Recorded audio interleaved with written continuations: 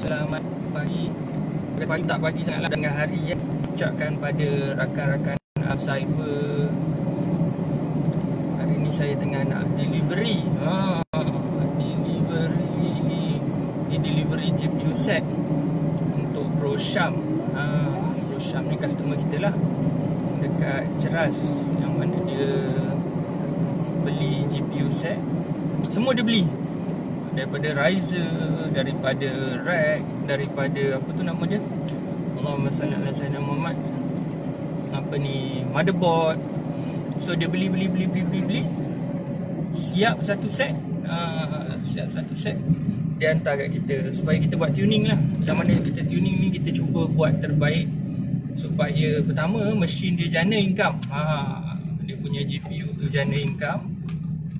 Dan kedua dia punya GPU dia senang nak manage. Ha, kita orang Jawa kata tak serabut lah. Kan? Bila tak serabut, selalu kita boleh tengok income masuk je lah. Ha, income masuk aja. So card yang dia pakai ialah jenis RX 470. Ha, RX 470. Untuk cari ni pandai-pandai lah kan. Ada yang cari dekat Loyat, ada yang cari dekat Carousel, ada yang cari dekat Facebook sendiri terpulang uh, untuk mencari GPU untuk mencari alat-alat yang lain terpulang pada kawan-kawan. Hai assalamualaikum papa Tasha. So dia tune sendiri dekat rumah dia dapat income sekitar 22 ke 25 USD dia tune. Okay. so bila mana Bro Syam tune dia tak boleh nak tune sebab dia bukanlah satu orang expert kan. Uh, so dia hantar dengan kami dia hantar dengan kami kami buat tune dia punya. Sekarang alhamdulillah boleh generate sekitar 33 USD ah meningkat tu.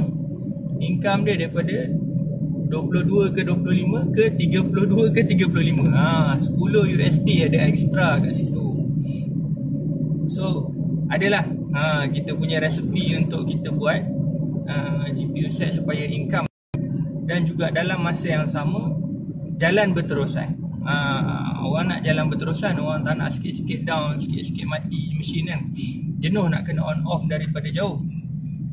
So bila mana kita dah tune kan mesin mesin siap terus kita boleh buat penghantaran. Ha, kita buat penghantaran lah dekat Bro Syam ni tengah on the way.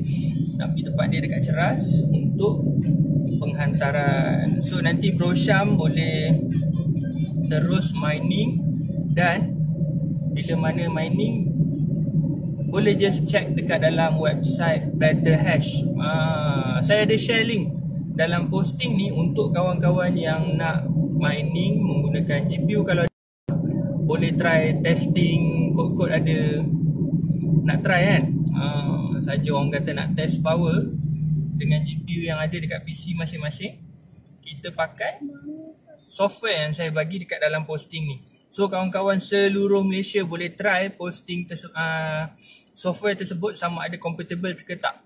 Pertama ialah dia perlukan minimum i3. Uh, i3 adalah spesifikasi minimum untuk kita start mining. Dan yang kedua kita kena ada GPU. Uh, Betterhash akan detect minimum 3 GB. So kawan-kawan punya GPU kena 3 GB baru Betterhash akan detect. Okey sekian itu je video yang saya nak sampaikan pada kawan-kawan rakan-rakan alam cyber. Semoga video yang saya share ni dapat bantu kawan-kawan tambahkan pendapatan secara pasif. Beli mesin ni tak payah cek orang. Ha, kita on aja GPU tu. Kita on je GPU tu terus GPU tu generate duit dan duit tu direct masuk dalam account kita bergantung kepada mata wang yang kita gali. Okay, Assalamualaikum warahmatullahi wabarakatuh. Subscribe this channel.